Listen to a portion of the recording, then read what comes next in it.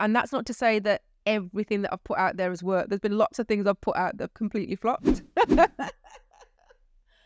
but I always say uh, this is this is something I say to a lot of my friends. They always say, "Oh, you're always winning. You've always got all these things going on." And da da da da. I say, "Yeah, but you know, for everything that you see that's a win, you know, had five losses behind the scenes that I haven't said anything about. So." Yeah, you do get to see all the wins, but there's lots of things that I might put out, that I might try, that I might apply for, etc., that I don't get or nothing comes of it. It's just that I put out lots of hooks, and every now and again, one of those hooks, you know, the bait that that you know, someone takes the bait and it it it, it flowers, it become it becomes something. But there's lots of hooks that I put out that just fizzle away into nothing. But that's business. How do you handle rejection? And I'll add to that if you've had any things that you've tried, you've got the opportunity but hasn't quite worked out, so failure.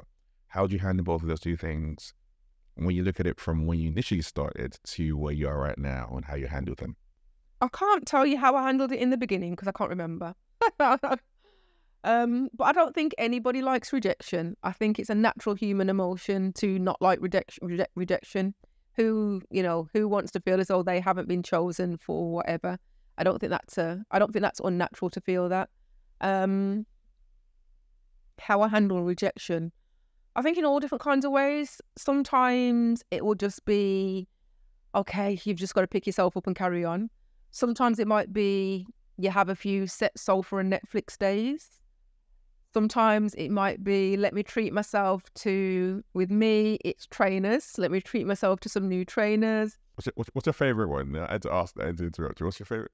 Oh, I, I'm a I'm a Puma person. I'm a Puma girl. So yeah, for real. Absolutely, Puma are the most amazing brand, underrated. Their trainers are so um, their trainers are stylish. They have all different colours. They're a fantastic price. I've got about I must have about 30 pairs of Pumas. Everybody knows me as a as Puma girl. Like, I only wear Pumas.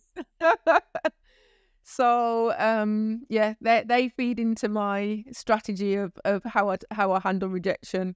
My, my friends will always laugh because every now and again I'll just post a box of new Pumas. It's not a box, it's one of those boxes, you know, like those big Amazon ones that come. It's one of those boxes with about six, seven pairs in there.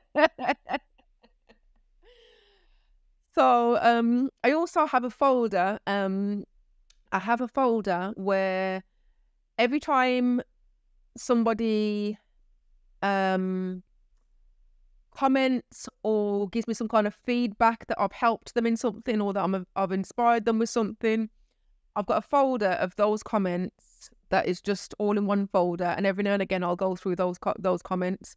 So I have lots of people that will say to me, "Oh, you've inspired me to do this," or because of what you said, I went on to do such and such. And I've got that folder as well. Every now and again, when I'm feeling a bit a bit rubbish, I'll I'll look through there as well. So I think I have, like anybody, different strategies of how I deal with that rejection. Um, also, sometimes that rejection spurs you on even more. I put a, a post on my um, Instagram a couple of days ago, and it said something like, "The best motivation motivational words anyone ever gave me was two words, and that's you can't.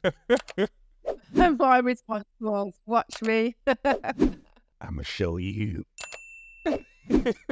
exactly that.